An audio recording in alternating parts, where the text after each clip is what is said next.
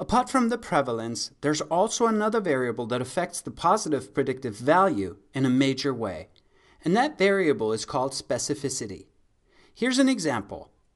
Let's take our population of 1,000 individuals again, and this time, let's say the prevalence is 20%. So 200 have the disease and 800 don't. Let's say the test sensitivity is 70% and the specificity is also 70%. So out of the 200 diseased, 70% or 140 will be picked up by the test, whereas 60 will be missed. Similarly, 70% or 560 of non-diseased will be picked up, whereas 240 will be falsely classified as diseased. Overall, we have 380 folks who tested positive, 140 true positives and 240 false positives. Now, let's calculate the positive predictive value. That's 140 true positives divided by 380 who tested positive times 100 equals 37%. So pretty bad. Now let's see what happens to the positive predictive value if we change sensitivity to let's say 90%.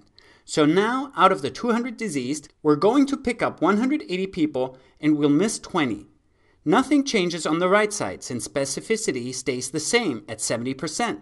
So overall, we end up with 420 people who test positive. What's the positive predictive value? Maybe you want to give it a try and calculate it yourself. Pause the video and come back when you're done.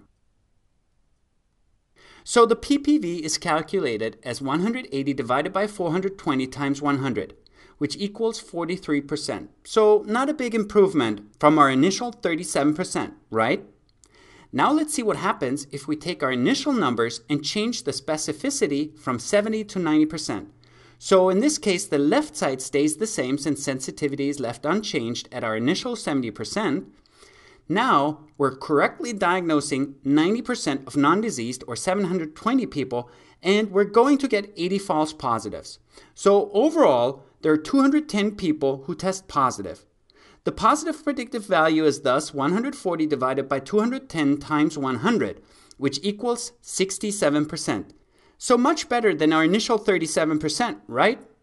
And why does specificity have so much more influence on the positive predictive value than sensitivity? Well, because there are many more people in the non-diseased group.